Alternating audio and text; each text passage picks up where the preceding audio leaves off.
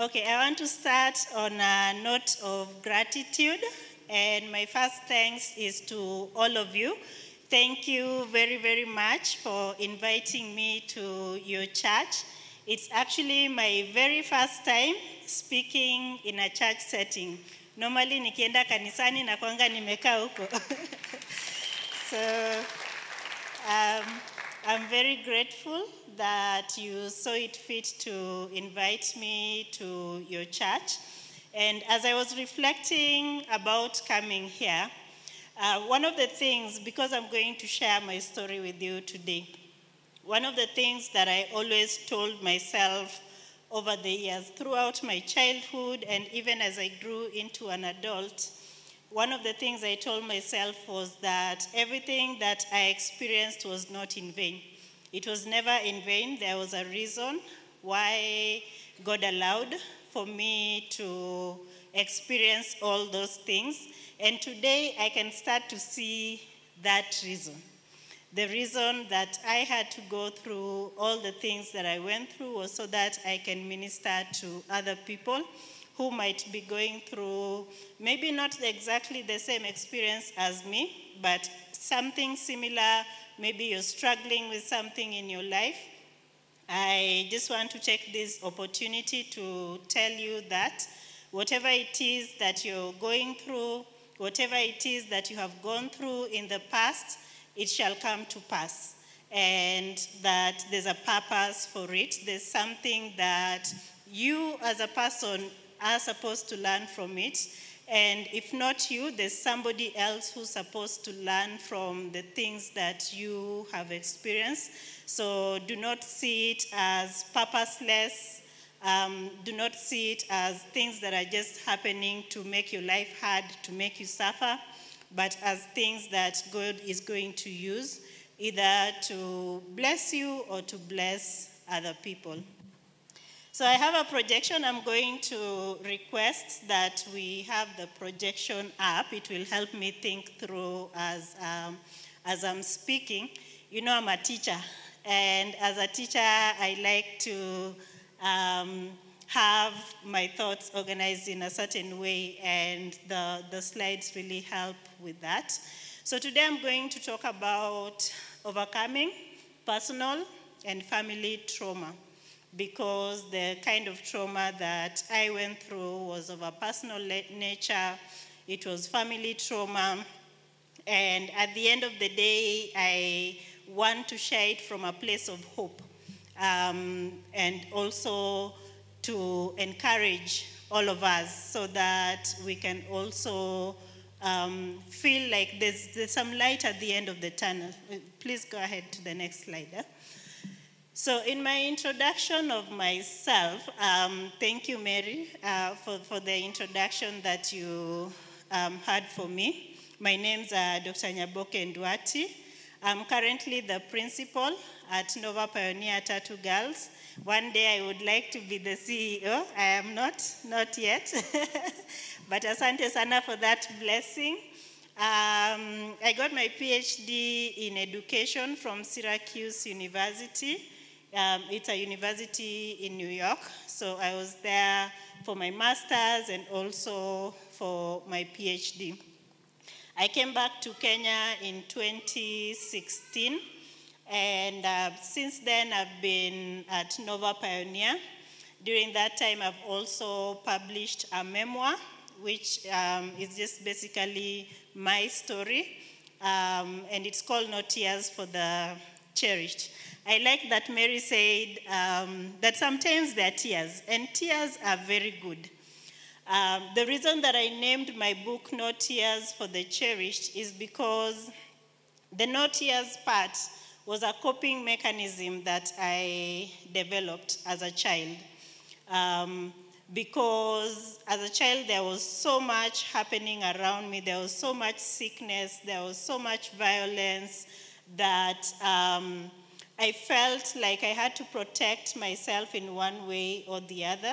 And the way that I protected myself during that period in my life as a child was to kind of like build a wall around myself. It's not advisable, it's not the best thing to do, but it was the way that I protected myself as a child. I built some very strong walls around myself. I was very numb to everything that was happening around me, and I was really trying to survive. I was in survival mode. If you've ever heard of survival mode, that is the mode that I was in for very, very many years in my life. Um, those are some of my pictures from that period in my life. Um, the middle picture, I don't have very many pictures from my, my childhood. Um, but that middle one, I sometimes call it my chokora phase because when, when um, both of my parents passed, a lot of our relatives um, had a lot to say to us. And one of the things that they kept telling us was that we will become chokoras. Um, and so that was kind of like, in quotes, in quotes my chokora phase. The other two on, I believe that's your right, that's my, my mom and my siblings. I kind of blurred out other people's faces, my siblings, because um, just to respect their privacy. And this is me as a teenager, also just still trying to survive. On the next slide, you'll see me now, and I thank God that I was able to come. See, we appreciate God for yeah, getting us, getting us out of that. Um, so that is me now. Uh, myself and my husband. My husband really wanted to be here today, but my children were reporting back to school, so he wasn't able to come because he had to take the, the, the boys to school. My daughter is actually here. Um, she's called Imani. I asked if she can come say hi, and she said, Mom, no, no, no, no, please don't call me, but she's right there. Um, her name is Imani. I also came with two of my colleagues. We have Miss Juliet, who is um, one of the, of the dome mothers who takes care of the girls at the school where I am. Um, she also ministers in, in for, um, for us sometimes to, to our girls. So I got a lot of inspiration from her. I was asking her, hey, ukienda kuongea kwa church unaanza aje? and she told me, just do whatever the Spirit leads you, you will be fine. Um, I also came with my other colleague, Miss Belinda. She's a chemistry teacher amesoma science sana and she does a very great job with uh, our students. Oh, and my other colleague also, Miss Roslyn, she's an English teacher. We appreciate you for being here today. Um, so thank you very much for that. Um, if you can go to the next slide. Um, that is my, my book that I wrote, um, and I'm hoping that all of us will take the opportunity to get a copy and read it. It's actually a book that can be a blessing to you if you're a young person. It can also be a blessing to you as an adult, as a mom, as a dad, because it really um, gives you that pause to think about the relationship that you have with your child and um, just the interactions. You know, one of the questions that you ask yourself at the end of, um, after reading this book is, how is it that I am relating with my child? If my child was to write a book about me today, what would they write? So um, I welcome you to get a copy for yourself. Um, you'll get a, a, a more in-depth um, you'll get the story more in depth from the book than you might from me today. Um, so we can move to the next slide, please. So I'm going to spend a little, a little bit of time talking about my journey. And then after I talk about my journey, I'm going to talk about some of the ways that I coped. I have to say that I'm not a trained counselor. But I've gone through a lot of counseling and um, I've learned quite a lot in my journey of healing. And I cannot say that I'm completely healed, but I have walked quite a long journey when it comes to working on myself, working on my healing, and I would like to share some of the things that I've learned along the way with you. So, the trauma part. The trauma um, started from as far back as I can remember. Actually, my very first memory of myself being alive is um, the memory of domestic violence in, in our home. My father was um, a businessman. He worked for the government, but then quit that to start his own business. And he was a very, very successful big businessman for that time. This was in the early 90s. So, being a successful businessman, um, there was a way that he carried himself. Um, and I, when I reflect back on my father and his life, I think a lot of the things that he was struggling with were also generational because he had come from a very poor background and had been able to make um, quite some success for himself but he was still carrying a lot of those um, generational traumas that he had also experienced. Um, so my father was a violent man. Um, for lack of a better word, he was a violent man, and my earliest memory is of myself and my siblings just sitting around the dinner table um, and I could sense, even at that age, I must have been maybe three or four years old, but I could sense some tension in the house. I could sense that something was wrong. Because my mother was very uneasy. She had a young one, there's a younger brother. So my brother must have been maybe two years old. She was trying to feed my brother. At the same time, she's trying to attend to my dad. My dad was shouting from the room, calling her every other minute. So she was, you know, shuffling between the dinner table and the bedroom, dinner table and bedroom. And during one of those trips when she went into the bedroom, we just heard like, you know, those loud sounds, like something like that. And even at that age, I knew what was happening. So myself and my siblings, we quickly got out of the dinner table, ran into the bedroom, and locked ourselves in there. And from there, we could hear everything that was happening in my parents' room. My, my mother was being beaten with everything and anything. There were some small stools in that room, and even, even from my room, I could tell she was being beaten with furniture. It wasn't even hands, it was, she was being beaten with furniture. And my mom was screaming and screaming and screaming until it came to a point where she wasn't screaming anymore. She was quiet. So everything just went dead quiet for some time. And in my mind, I thought she was already dead. Um, and I was just sitting in that room together with my two brothers. The older siblings were in boarding school, so they were not home. And as we were sitting there, we just heard my dad shouting, Come here. So he was calling us. And we had him dragging you know, you could just hear something being dragged on the floor. So we came from the room, came into the living room where my dad was. He had dragged my mom into the sitting room. She was unconscious. There was a lot of blood all over her on the floor. She looked like she was dead. Um, and what my dad told us is that, come here, Look at your mother for the last time because I'm going to kill her today. You're never going to see her again. So my brothers and I, we stood there, looked at our mom, um, and then he told us to go away. So we went back into the bedroom, and we, we could hear him dragging her back. He dragged her back into the bedroom. And because she was unconscious, he, he wasn't beating her anymore. Things were just quiet.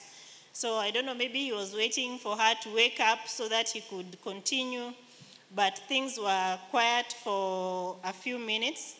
And then suddenly we just had someone getting up and running and, and, and you know, like um, banging the door. So luckily, my mother was able to escape that night. And um, so we slept in the house because, of course, as a child, being my brother was two years old, I was three or four, there's nowhere you can go. So we stayed in the house, we slept. The next morning, my dad woke us up, got us ready for school, and it was like business as usual. It was like nothing happened. And when we came back from school in the evening, my mother was back. She had all these bruises all over, she was swollen all over, um, but she was back in the house. And she was behaving like the good wife that she was, just, you know, continuing to cook for him. And my, my father used to smoke a lot. So my father was just sitting, you know, the way they sit like that. Eh? And he was smoking his cigarettes. My mom was hustling up and down. Um, so that is one memory that stuck with me for very, very many years. I mean, up to today. It's one of the things that really stuck in my head. And as parents, um, we have children, and sometimes we have these arguments with um, our spouses, or sometimes you can even have a fight with your spouse in the house, in the presence of your child, and you think that your child is going to forget. The children never forget, they don't forget. It's something that they will carry for the rest of their lives. So after that incident, um, of course, my mom went back to being a wife, but um, there was a lot of turmoil. I could sense throughout um, that there was always a lot of turmoil in the house. My, my father lived far away, but every time he was home, there was a lot of turmoil. And um, um, one, one, one of the things that my mother used to tell us was about my dad's um, promiscuity she would always talk, talk to us about my dad's ndogondogos. She would say, oh, baba yenu yuko una ndogondogo huko, sijui anafanya nini, anafanya nini. My mom would always tell us all those things. And unfortunately, um, my mom developed HIV and AIDS. She got very sick. And she didn't know. She didn't, she didn't, actually, up until her death, my mom did not know what she was suffering from. Um, she, of course, I, I, I, think it was very prevalent during those times for people to think that it's witchcraft. So my mom thought that she had been bewitched, and she created a fear in us about witchcraft. She would always tell us, oh, be very careful. Uh, anytime anybody stepped into our house, we were on edge because we were thinking, oh, this person has come to bewitch us. This person has come to kill us. So we were very socially isolated because we feared everyone. We, um, the fear was coming from, you know, fear of being bewitched, fear of being killed because my mom was deteriorating very fast. And it was very clear to a lot of people that she was dying. And of course, for us, we believed that she was being killed. She was not only dying, but she was actually being killed by somebody. We didn't know who that person was, but we believed that somebody was, was killing her. Um, the other reason that we were very socially isolated was because um, of just the amount of uh, sadness that we had in our house. My mother became very depressed. Um, she was, you know, somebody who wakes up in the morning and just sits there. The only time she will interact with us is when she's beating us. She used to beat us a lot. Um, and I don't know, maybe it was because of her relationship with my father. So she would beat us all the time. Um, and if she wasn't beating us, she was just sitting there looking very sad, looking very sick. So as a child, I was very embarrassed. I didn't want any of my friends to come to our house because I didn't want them to see my mom like that. And I also didn't want them to see the state of our house. Our house was always a mess. We were always a mess. Um, we barely ever took showers. We did not have toothbrushes, so like my teeth, you, you'd find a whole layer of food on teeth. You know, ile ukifanya hivi, you, you're like removing layers. Because we didn't have toothbrushes, we never used to brush our teeth. We never used to shower. Um, I would get a lot of infections because of, you know, not showering, and also I used to wet my bed just because of that stress um, of everything that was going on at home. So eventually, my mother passed away. Um, and when my mom passed away, we went to live with my dad. And li- life with my dad was very different because my dad had money. The money that he had never used to reach my mom. It was his money. He was living in Kisumu while my mom was living in a different town. So when we moved to live with my dad, it was like we are suddenly rich. You know, we have money, we have all the things we didn't have toothbrushes, underwears, clothes, all those we had. We had all those. But uh, my father was also very scary. You know, he was, I told you, he was dealing with a lot of gener- generational trauma um, because he also came from a very violent family, so he was equally violent. Um, not violent, to me, he was never violent to me specifically, but I could see the violence with my brothers. Um, and also just generally the way he behaved. When my, when my dad comes into the house, you run, you know, you just run because you never know um, what he can do, what he can do to you. And then um, my dad also started becoming sick because uh, after my mom passed, I think my dad also, it took him a while to realize what was happening, but he also had HIV and AIDS.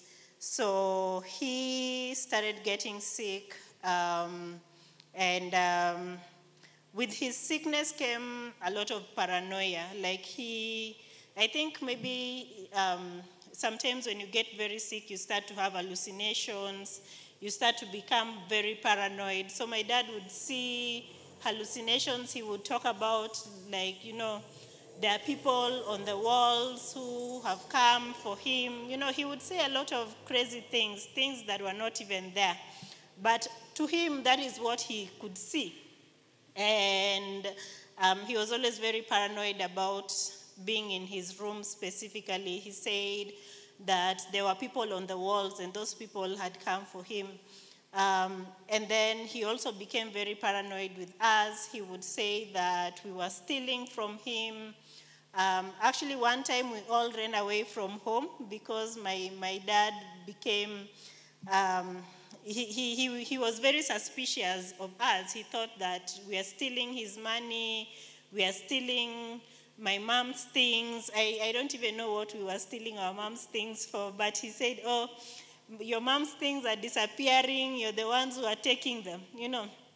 So sometimes he would pretend to go to work, he leaves the compound, and then anaenda anapark gari huko nje anarudi ile polepole kunyemelea so that he can find us, you know. He's looking to find us um, stealing from him. So um, that was life with my dad. He, because he had HIV and he did find out at some point what he was suffering from, he deteriorated. You know the way HIV can kill some. We used to kill people. Squeezy, you can live with it, you know, for many many years. But those days, getting HIV and AIDS was a death sentence. You just waste away within months. So around one year after my mom passed, my dad also passed away.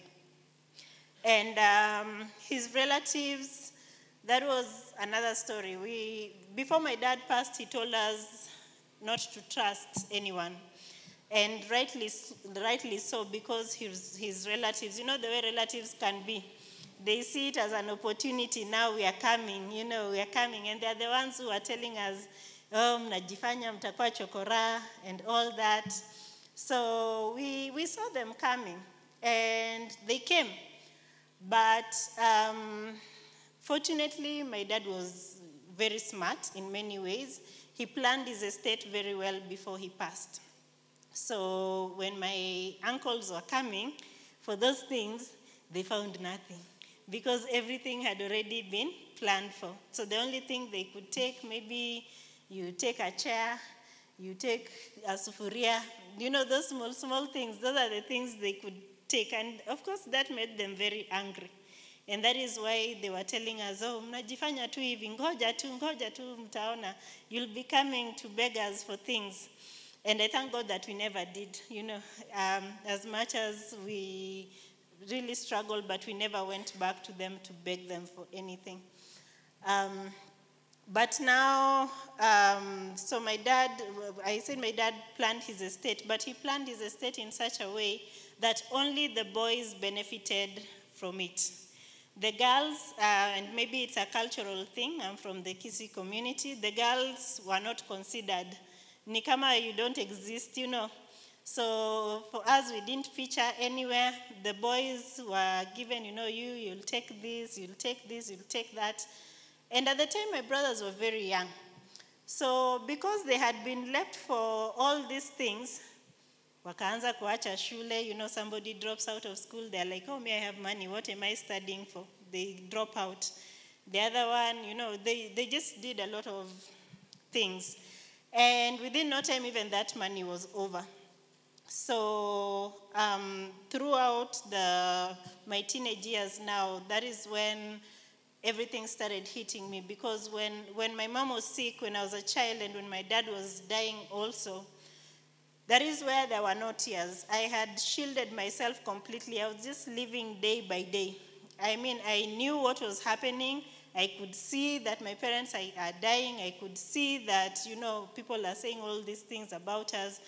But it didn't affect me because I had shielded myself in that way. I was just existing. It's like, oh, this person said this, okay. Oh, dad died, okay. Even the day my dad died, I saw people coming, crying. I went to hide in my room. I didn't want to talk to anyone. I just went and sat in my room. I didn't cry, nothing. So when I went to high school, that is where um, all these things started sinking in.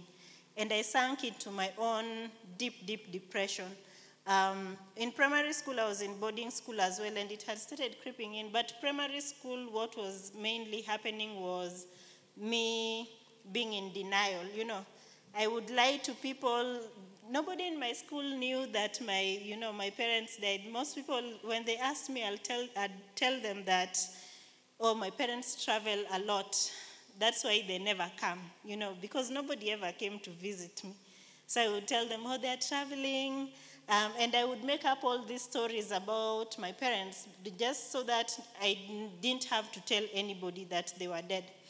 Um, so that is how I coped through primary school. Um, and then in high school now, when the depression um, set in, I just, you know, shut down completely. I, I was in one of those schools in, in Nyanza where um, nobody really cared what you were doing. You know, whether you go to class or you don't go to class, that's your problem, you know. So I would skip my classes and just go sit somewhere. Um, I went to a Catholic school, and church was very important. You could miss class, but church you weren't allowed to miss church. So the reason that anybody paid me any attention was because I started missing church. I could miss classes, nobody cared. But the moment I started missing church, I got called. Unajua ile unaitwa kwa ofisi ya principal, unakalishwa chini. And then now, um, that was the beginning of, of my healing. By then, I was like maybe at the end of Form 3, going into Form 4. Um, because when the principal called me, unajua zile wanakuja assembly wanasema, hmm, my, our principal used to be very funny. Sema, there are some people who feel like they are too good to go to church. They feel like, you know, she would talk like that and just say things, things, things. And for that matter, Nyaboke Nduati, and uh, uh, that time I wasn't using Nduati. Nduati is my husband's name. Nyaboke Ugugu, please come to my office. So everybody in the school knows, you know, amesha kuanika mbele ya. So I went to her office and I sat there for a while just waiting for her because she, she wasn't there when I went. So I sat there and she came. When the moment she started talking to me, it's like the floodgates just opened. I had never cried. Up until that point, I had never cried because of my parents. Nilikuwa nimejikaza, you know, ile nimekuwa. But that was the first time that I remember that I actually allowed my tears to fall. And I cried and cried and cried mpaka hata principal akashindwa sasa atanifanya aje. Akanituma kwa counselor, wewe enda ongea na counselor. so I went to the counselor um, and I spoke to two, the first counselor I spoke to, we didn't connect, to be very honest. We didn't connect, so nothing happened. And then, just by coincidence, I was, I was caught in another issue. And um, fortunately for me, I was caught by another counselor in the school. And um, that was the counselor that really changed my life because the counselor sat me down and really took the time to understand where I was coming from. She didn't focus on my mistake, whatever it is I had done. She focused more on why did I do it, you know. And that is the time when I was able to like really, because even myself, I didn't know why I was doing those things.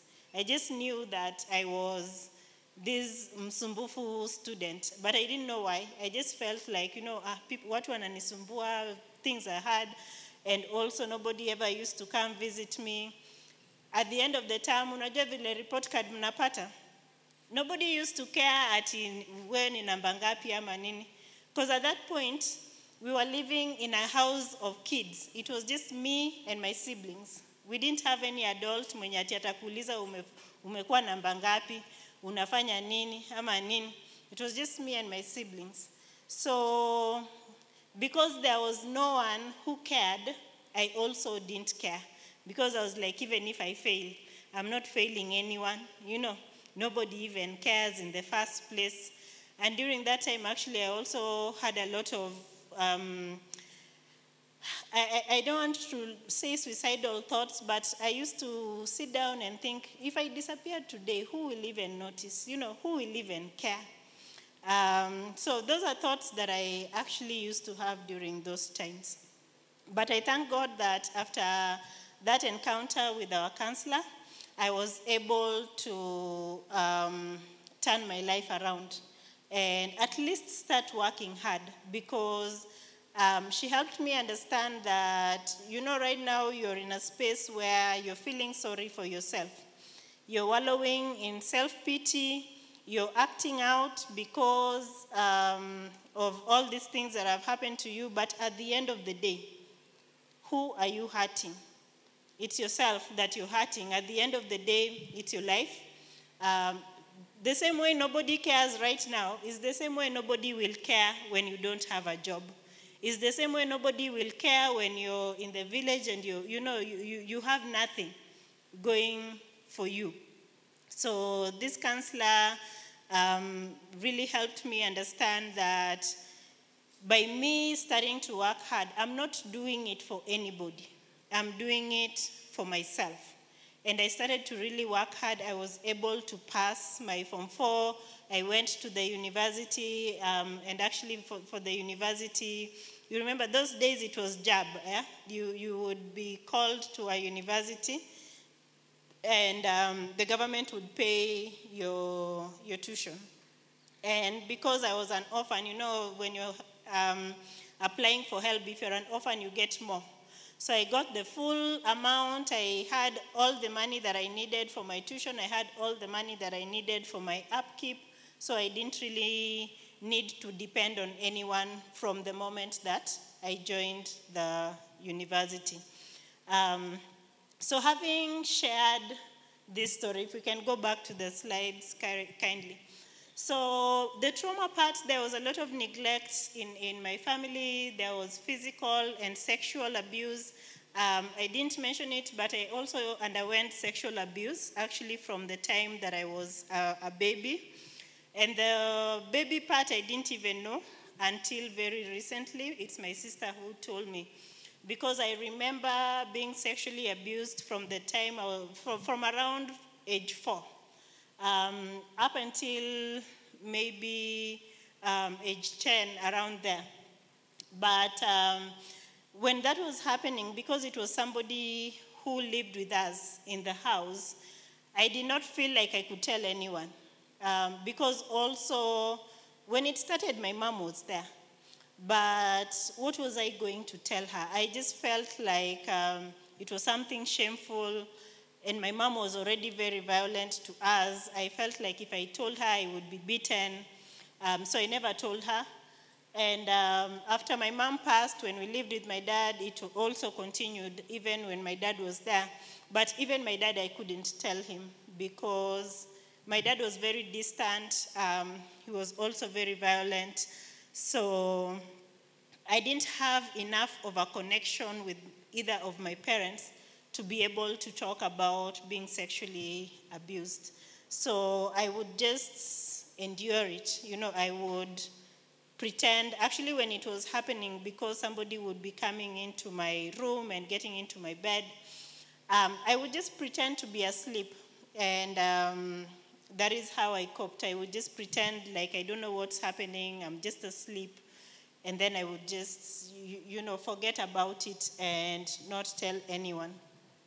And I didn't tell anyone until I told my sister maybe two years ago, my older sister when I was now planning to publish my book because I didn't want my sister to find out from the book. I wanted her to be well prepared so that when she read the book, she would um, actually have been given some, you know, I would have told her the story before telling it to the world.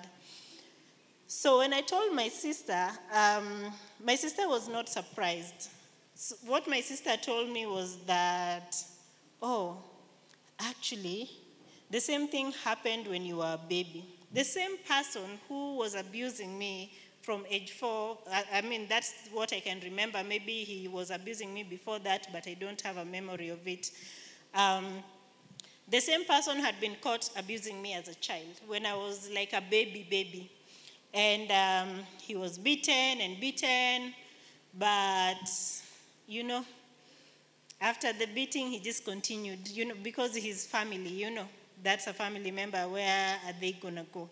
So he continued living in the same house, and um, that is how he continued with that behavior for until I became old enough that I think now at that point maybe he thought, eh, she will tell someone. I don't know why he stopped, but he stopped when I was around 10 years old.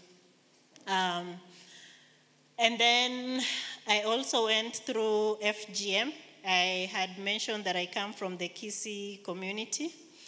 So FGM, um, the female genital mutilation or circumcision in other words, it's something that is practiced, I think still is in some families, is practiced in the Kisii community. And um, when I was young, it had been sold to me as a good thing. You know, my mom used to talk about it, and she talked about it with a lot of pride, like that's what makes you a woman. Um, so to me, even when it happened to me, I didn't see it as a bad thing until I was already there and I actually got to experience it. That's where you get the shock, like, oh my God, what is happening? What is this? Um, but it had been sold to me as something normal, something good, something that is expected if you're a woman, and that's what is going to, you know, get you the respect as a woman. And also, we'd been told that if you don't get circumcised, there's no man who will ever marry you, nobody will want you, you know. And they also used to have some derogatory term that they used to use to refer to people who hadn't been circumcised. But when the, when the thing actually happened, um, because you know, when my brothers were circumcised, they were taken to hospitals. And they went through, you know, normal circumcision at the hospital, came home, healed. But when it came to my turn, I, that is what I expected. I expected it was going to be like my brothers. I was going to go to the hospital. It would be like a nice, pain, painless thing. Because one of the things that um, the older women in our family used to pride themselves in, they would say, oh, mimi at schoolia, you know, I was very brave. So I was also looking forward to being brave, to not crying. So when the time actually came and I found myself on the floor, because I wasn't taken to a hospital, I was taken to a slum. You know, zile mnapelekwa kwa vichochoro, mabati mabati, nikaa unafichwa fichwa. I was taken to one of those places. Um, and, you know, I was told, take off your clothes, sit on the floor. I sat on the floor, and they were using a razor blade. You know, like a razor blade, that, that ka, ka square thing, like, no, rectangular razor blade like that. That thing touches your flesh and you feel like you're, you're dying. You know, I, I could not um, I could not believe that that is the thing that had been sold to me over the years, and everybody had always said that I didn't cry. So I felt very ashamed because to me there was no way I was going to not cry. It touches you like this and you're already dead. You know, you cry and cry until sauti inaisha. You know, I cried mpaka sijui kama hata ni kufaint una faint. Sauti inaisha, you just now become, it's like you're dead, you know. Um, so that happened and um, by, when it was happening, my mom was already dead, so it's my dad who took me to have that done. Um, and um, it's something that, you know, once it's done, you have to live with it for the rest of, of your life. And uh, it's one of the things that I'm still struggling. I told you I haven't fully healed. I'm still struggling with that part when it comes to forgiveness, because a big part of um, healing is when you're able to forgive the people that that um, you interacted with in negative ways. So that's the, that's one of the things that I still struggle with um, when it comes to forgiveness. When I wrote my book, I wrote it as a letter to my mother. Um, I still feel some distance when it comes to my father, and this is one of the reasons because I there are a lot of things. My mom did a lot of bad things. But my dad did things that, to me, I have continued to struggle with up to today, and that is one of them. Um, so if we can go back to, um, yeah, no, actually the previous one. Eh? Yeah. So the sickness, the death, the lack of safety, I've talked about that, and the aftermath, that is now when I was struggling, like in high school, to figure myself out to just come to terms with everything that had happened. And that is what it looked like. It looked like loneliness, it looked like confusion, depression, desperation, hopelessness, and very low self esteem. We can now move.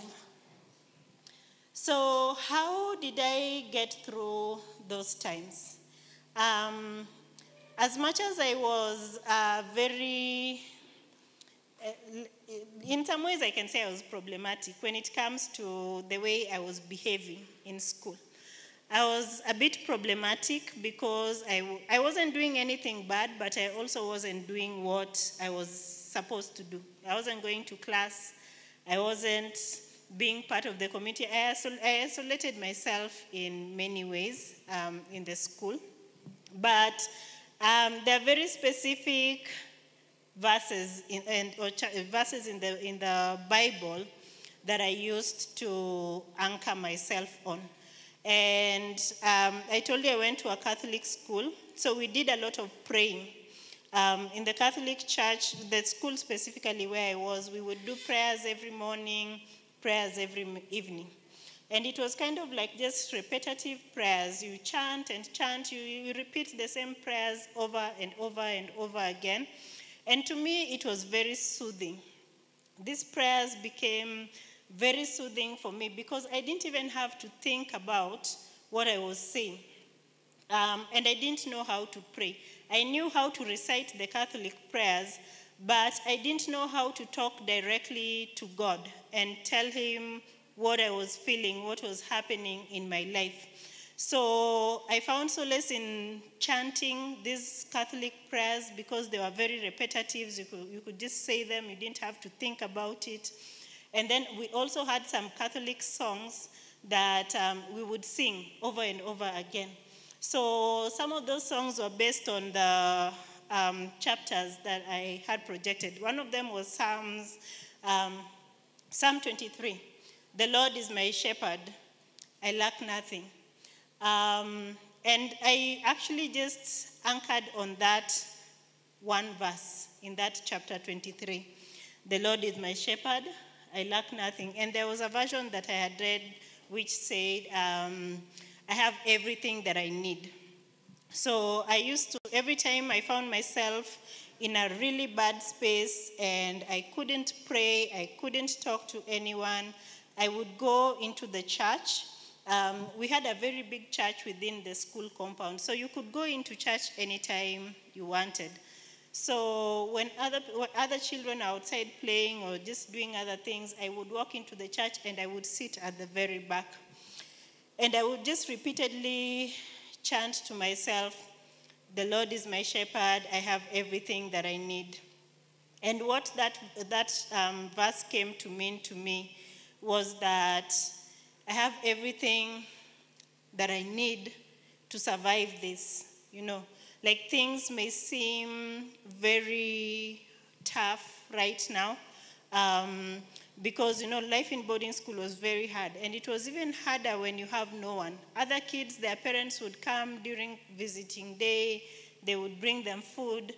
Nobody ever came to visit me in that school. I was always by myself. I didn't have any pocket money. I didn't have any food outside of the normal school food. So i kept telling myself um, the lord is my shepherd. I have everything that i need so wherever I am right now, whatever I have right now, I have everything that I need in order to get through this. And that is how I survived my days. Um, the other uh, piece of word that um, I found a lot of solace in was the call of Jeremiah. Um, there was a song that we used to sing about that call of Jeremiah. And I also kept reading that verse over and over again. And I would, you know, like keep thinking about Jeremiah. You know, the Lord said to me, um, the, the, way the Lord talked to him and um, told him that he, he knew him before he was formed in his mother's womb and that he selected him, he anointed him to become a, nation, a prophet to the nations. And Jeremiah doubted himself and he said, You know, I'm too young. I don't know how to speak. And that is how I felt. I think that is um, the reason that I really connected with that verse because I felt like um, throughout my life, I've always felt like there's something bigger than this. Because everything, every evidence that I had in my life pointed towards me amounting to nothing. You know, everything pointed towards me, my life being meaningless. But deep down, I always felt that there's something greater than this, that this is not all there is. And um, so when I was reading, when I kept reading that call of Jeremiah, and um, I, I connected with him because I felt like you know, Lord, what are you calling me for? What do you want me to do? I don't feel like I can do it. I did, you know, similar to Jeremiah, I didn't know how to speak. I could barely speak in front of two people, let alone a church.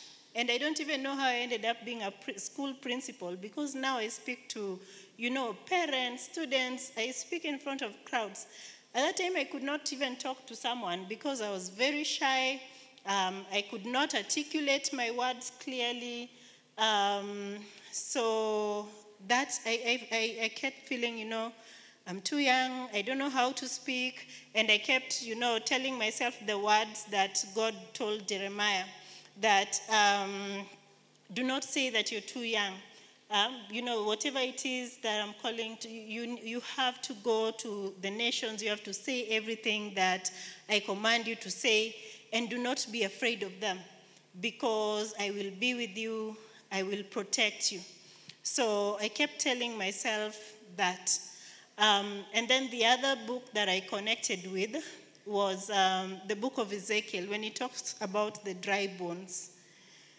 So I, I, I also used to read that um, chapter a lot when um, God took Ezekiel to the valley of dry bones and he was asking him, Can these bones live again?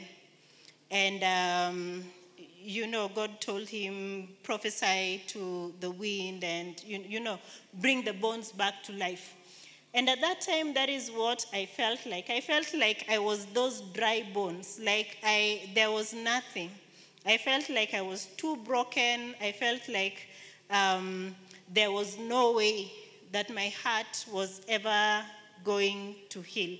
Actually, sometimes I used to think to myself, you know, um, maybe it's better if I start over. You know, can I start my life over? Can I die and just be reborn and start over, have a different life?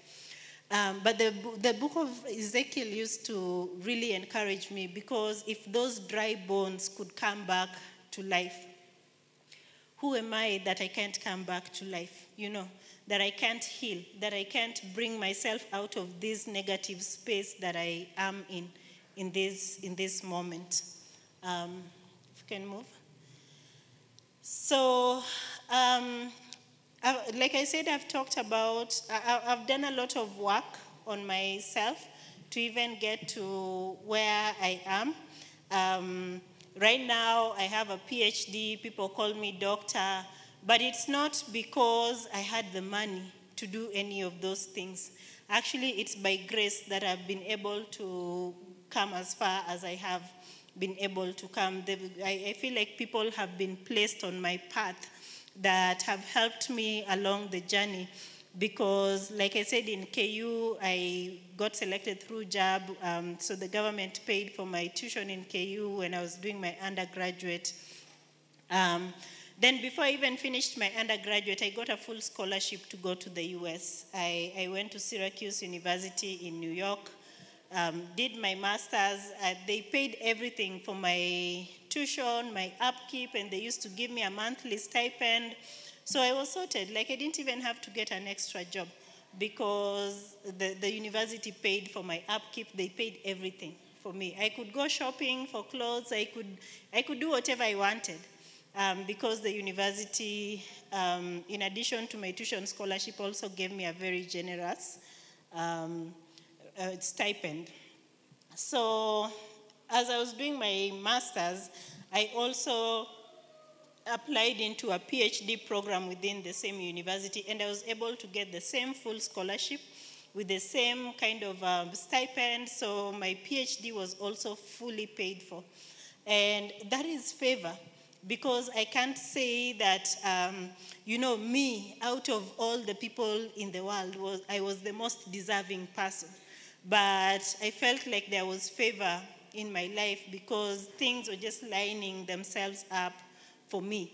And uh, whenever I needed an opportunity, the opportunity was there, you know. So I'm going to share a few things. I'll try to go through it quickly. I see time imeenda sana. Um, about how I think about my own transformation from within. So we can just quickly go through them. Um, developing grit in order to survive and thrive after trauma, you have to do a lot of um, work in order to develop that emotional grit and resilience because it's very easy to give in and say, you know, hivyo tu ndio maisha iko, I'm just going to accept it, you know, and then you, you just allow your life to go anyhow. So for me, I felt like I had to develop a lot of resilience. And to me, maybe I didn't do it in the best way possible, but um, my way of developing that grit and that resilience was just to become very emotionally removed from everything. That no tears that I was talking about, that is how that was my survival mechanism. I was like, oh, this happened. Okay, we move. I wasn't crying about anything. I wasn't dwelling on anything negative that was happening in my life. I was just, you know, like acknowledging that this has happened. Okay, let's move on. That is how um, I, I, I um, worked on it. But there are better ways. I'm telling you that is what I did, but there are better ways. Talking to people really helps. I just didn't have anybody that I could talk to. And that is why I protected myself in that way. Um, let's move.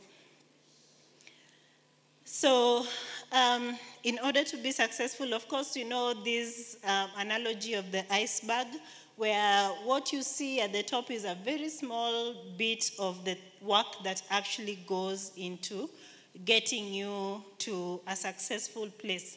There'll be a lot of hard work, persistence, you'll get a lot of rejection, you'll have to uh, undergo a lot of um, criticism, you'll doubt yourself, you'll fail. Um, but all those things add together as long as you are continuing to push through. Even on the days that are really hard, on the days when you feel like I can't, you know, I, I can't do this anymore, you keep pushing yourself through. When you get criticized, when you get rejected, you keep pushing.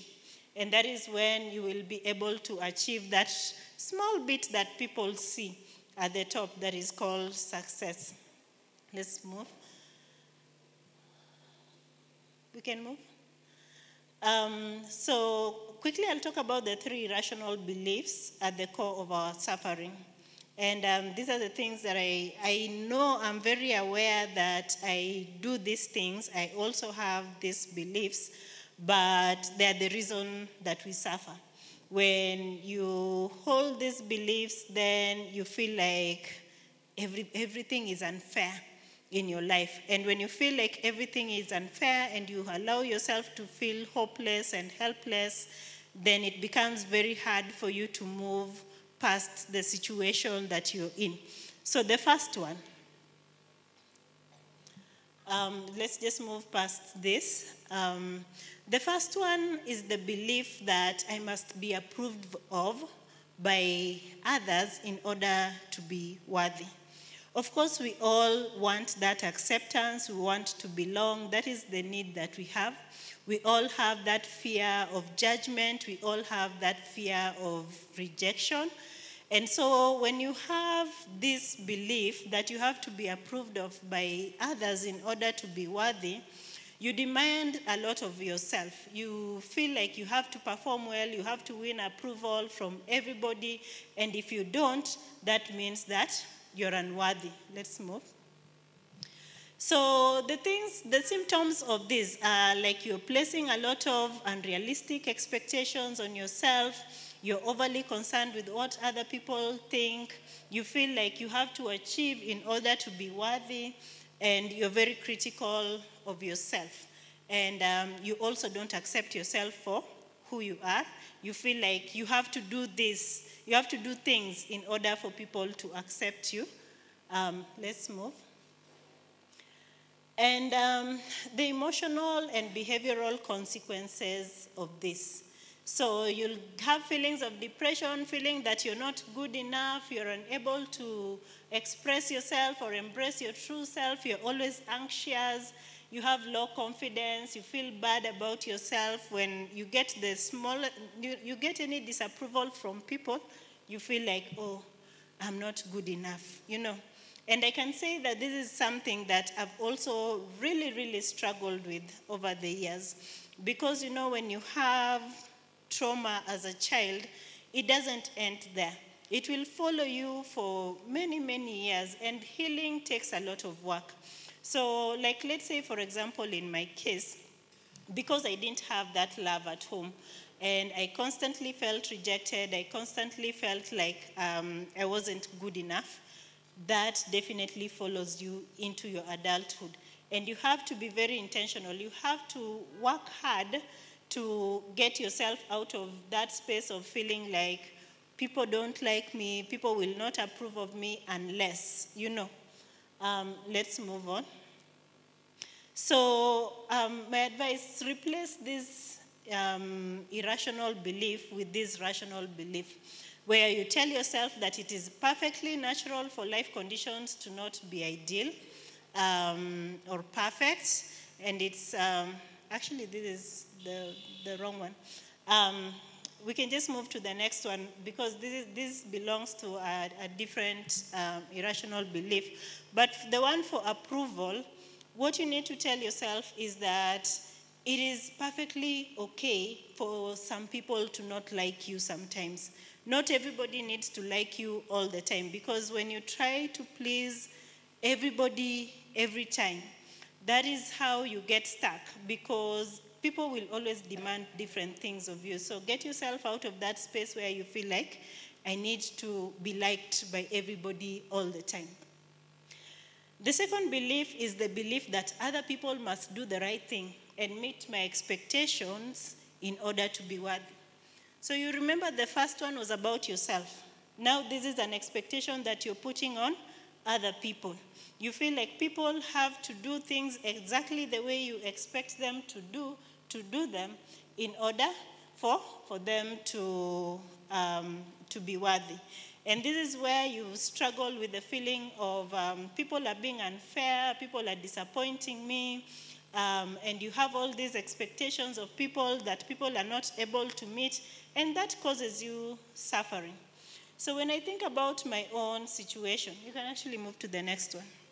When I think about my own situation, I of course felt that I had been let down by many people. I of course felt that life had been unfair in many ways. But the thing that I have learned over the years is that you cannot expect everybody to behave the way you expect them to behave. The only person that you have control over is yourself. And other people will make their own choices, and you need to allow them to make their own choices, and don't put your heart into, into it that, oh, I'm expecting all these things from this person, and this person is not uh, meeting my expectation. Because what that creates in you is a lot of bitterness. And that bitterness, you know, taking poison, waiting for the other person to die. It kills you more than it kills the other person. So um, don't assume that you know you're the sole authority on what is right and what is wrong. Uh, let other people, you know, if people are making their own choices and those choices are not in your favor, allow them to make their own choices. Let's move. Um, and this will save you those emotional and behavioral consequences of feeling angry, having a lot of impatience with other people, bitterness, resentment, um, forgiveness. I talked about forgiveness earlier. Um, forgiveness, when you forgive people, you do it more for yourself than you're doing it for the other person. Myself, I've had to forgive a lot of people. And um, some of them I've been able to forgive, some of them I haven't been able to forgive.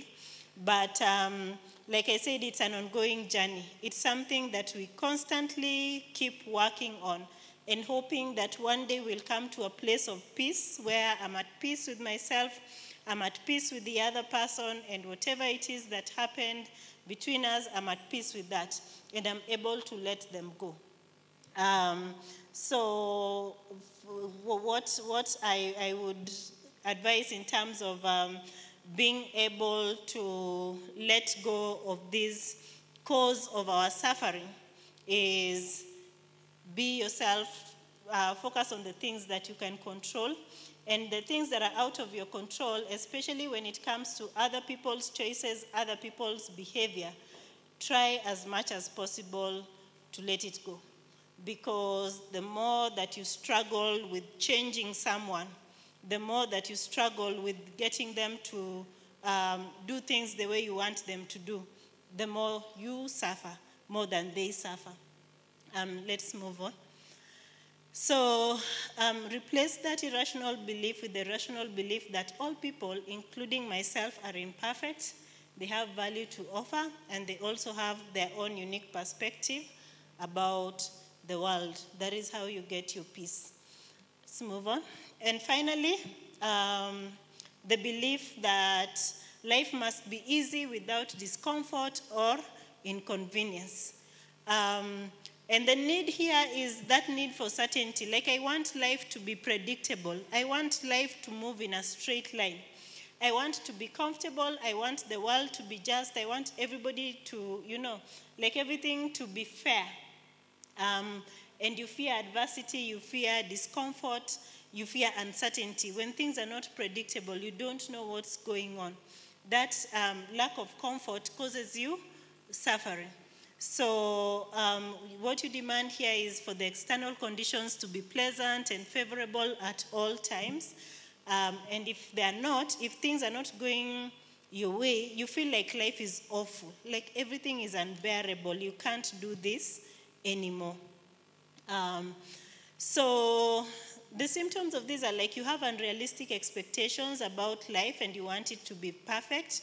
You feel like um, bad things shouldn't happen and then you also lack the ability to cope.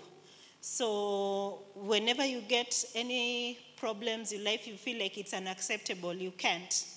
And this is where, I, mean, unfortunately, in our society today, we have a lot of cases of suicide where life becomes hard, and as a person, the person decides that this is unbearable. I don't have the capacity to cope with whatever is happening to me right now. And um, unfortunately, some people end up taking their lives because of this. But um, when you tell yourself, you try and convince yourself that it is okay. Things are not always going to happen in a straight line. There are times when you'll be so broke you don't have any money, you don't have anything. Or you might be in a very bad place in your relationship, whether it's your relationship with your spouse, your relationship with your siblings, your relationship with your children, and you feel like it's too much, it's unbearable, I can't. You know, try and calm yourself down, remind yourself that it is okay. And um, there will be times when things will not be moving in a straight line, things will not be going exactly as um, I plan or I want them to go, but you are able to cope. You can cope. And this takes me back to that verse that I told you I keep re- re- um, repeating to myself when I was in school. The Lord is my shepherd. I have everything that you need. I have everything that I need. And this is something that you can remind yourself. You have everything that you need. Whatever it is that you feel you don't have right now, even if it's the ability to cope with your situation, you do have it within yourself. Because God said you have everything that you need. And um, if you just hold on, if you just keep moving day by day, taking it a step at a time, if you need help, seek that help. At the end of the day, you will find that you do have everything that you need in order to get through that rough patch in your life. Um, let's move forward. Um, so, of course, those are the emotional and behavioral consequences of um, being in a place where you feel like life has to be comfortable or life has to move in a straight line. It will cause you a lot of um, self pity, depression, having a lot of anxiety, and having a very low tolerance for frustrations. Um, let's move on. So you replace this with the belief that it is perfectly natural for life conditions to not be ideal or perfect. It's okay if situations do not exist the way I would prefer because I'm capable of finding solutions to problems and making changes that can bring me happiness and opportunity. Um, let's move on. Um, so I'm not going to go through this a lot, but it's a way, how do we question our irrational beliefs? When we feel like we are coming to a place where we have these irrational beliefs about ourselves, about others, about the world, how do we disrupt that or question them so that we can get ourselves in a more um, rational space? Let's move on. So this is just a template that I created that you can use for yourself. Um, on, on the first column, you can write um, the different things that you have beliefs about. And then also, so let's say, for example, if one of your beliefs is that failure means, what, what does failure mean to you? When you fail, so for example, it could be like failure means I'm unworthy, you know? When I fail, it means I'm worthless. I don't know how to do my job. I don't know how to, you know, um, do life. So if that is what failure means to you, write that. Failure means I am unworthy. And then ask yourself, where is that belief coming from? Also ask yourself, is it true? And how do you know that it is true? Yeah? And you'll find that maybe that belief, when you're asking yourself, where did it come from? You will find that it came from somewhere, maybe in your childhood, where you are constantly being berated when you do something wrong or when you fail, you're told, oh, when I'm jinga, all that, you're unworthy. So that is the belief that you carry with you throughout your life. Um, and then ask yourself when you, be, when you tell that to yourself, when you hold that, that belief, does it negatively impact your life? And if it, it, if it does negatively impact your life, what can you change it to? How can you change it so that it becomes a more, um, a more rational belief? And you can do that with any aspect of your life. Like, for example, uh, when you experience challenges, what does that mean? Um, what do you believe about other people?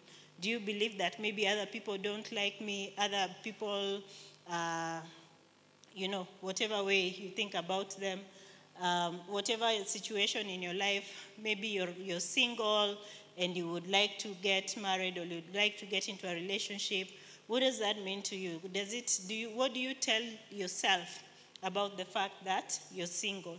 Or what do you, if you're, if you're married and your marriage is failing, um, what does that mean? Do you tell yourself, because my marriage is failing, that says this negative thing about me? Is that true? If it's negatively impacting you, how do you change that into a more rational belief? Let's move on. Uh, so this is a quote. Um, it's a quote that I really like, and I've also related it to a Bible verse that um, I also really like. If you don't go after what you want, you'll never have it. If you don't ask, the answer is always no. If you don't step forward, you'll always be in the same place. That's a quote by Nora Roberts. And it goes very well with the Bible verse from Luke chapter 11, verse 9 to 10. Um, the one about um, ask and you shall be given, seek and you shall find, knock and the door shall be opened unto you. There's a song that we used to sing about that. Uh, I, uh, if you notice, like I really, when a lot of my, my um, foundation in my spiritual life is from the time when I was in high school, especially. The songs that we used to sing, like this one, for example, we had a song where we would sing about, you know, um, um, ask and it shall be, my voice, ask and it will be given to you, seek and you shall find, knock and the door shall be opened unto you. And that is one of my life mantras. You know, you have to go for whatever you need, or else you're going to be stuck in the same place talking about how unfair other people are, how unfair life is, and you don't move forward because you have not taken um, the opportunity to put yourself out there and ask, um, you know, ask for what you need. Whether you're asking people, whether you're asking God, whether you're asking it of yourself, because sometimes you also need to ask yourself, you know, this is what I need. And ask your body to cooperate with you and get you what you need. Like, for example, I need to be healthier. I'm getting some lifestyle diseases right now, and I know that these diseases, I'm getting them because of my lifestyle. Yeah? I know I'm getting them because I don't eat, I don't eat healthy. I know I'm getting them because I don't exercise. Sit down with yourself and tell your body, I need to, this is what we need. We need to get healthy. And what that means is that we will be uncomfortable sometimes. We will wake up, we will go and exercise. We will deny ourselves that KFC so that we can um, go home and, and cook ugali and sukuma wiki, you know. Um, so some of those things you'll be asking them of yourself. Some of them you'll be asking them of God. Some of them you'll be asking them of the world. Um, but you really do need to knock on doors. You need to seek what you need um, so that you can find you can find them. I'm going to leave this part out because I want to be sensitive about time. But in general, what it is is just like um, finding evidence for whatever it is that you want to believe about yourself and disproving the evidence that you think you have about those irrational beliefs you might have about yourself. So thank you all very much. I'm going to stop there and really appreciate you once again for your time. Um, I hope that you have been blessed. Thank you.